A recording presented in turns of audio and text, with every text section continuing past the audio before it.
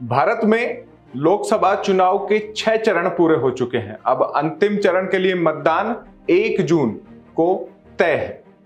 एक जून के बाद चार जून का इंतज़ार परिणाम जानने के लिए रहेगा। आप देख रहे हैं राजस्थान चौक, मैं हूँ अंकित तिवारी।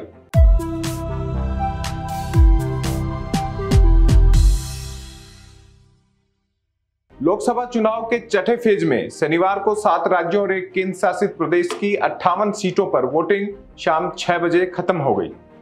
चुनाव आयोग के मुताबिक शनिवार को अट्ठावन सीटों पर शाम छह बजे तक अट्ठावन पॉइंट बयासी फ़ीसदी वोटिंग हुई। सबसे ज़्यादा पश्चिम बंगाल अठहत्तर पॉइंट उन्नीस फ़ीसदी, सबसे कम जम्मू कश्मीर इक्यावन पॉइंट इकतालीस फ़ीसदी मतदान हुआ। पाँच फ़ेज़ में चार सौ उनतीस सीटों पर मतदान हो चुका है। एक जून को आखिरी सत्तावन सीटों पर वोटिंग होगी।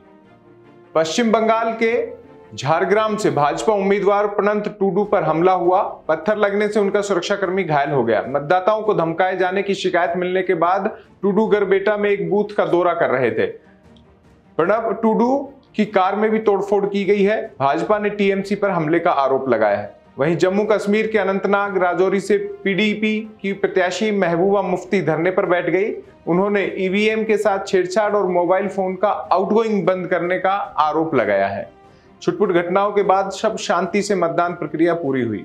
दिल्ली की सात, उत्तर प्रदेश की चौदह, हरियाणा की सभी दस सीटें, बिहार और पश्चिम बंगाल की आठ आठ, ओडिशा की छह और झारखंड की चार सीटें, जम्मू कश्मीर की एक लोकसभा सीटों पर छठे चरण में वोटिंग हुई है। उत्तर प्रदेश में चौवन पॉइंट टू हरियाणा में अट्ठावन पॉइंट छह, बिहार में बावन पश्चिम बंगाल में अठहत्तर जम्मू कश्मीर में इक्यावन दिल्ली में चौवन ओडिशा में उनसठ झारखंड में बासठ प्रतिशत मतदान हुआ है।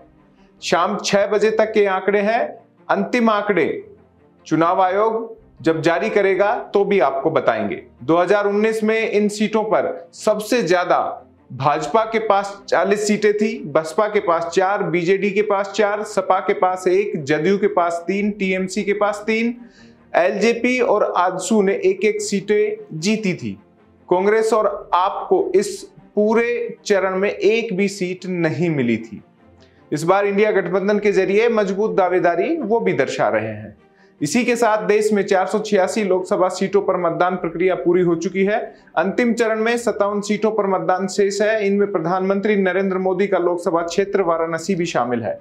देश की 543 लोकसभा सीटों पर मतों की गिनती 4 जून को होगी। दोपहर तक देश में बहुमत किसके पास होगा, यह तय हो जाएगा। राजस्थान चौक किसे बहुमत मिल रहा है, उस पल पल की अपडेट भी 4 जून को आप तक पहुंचाएगा।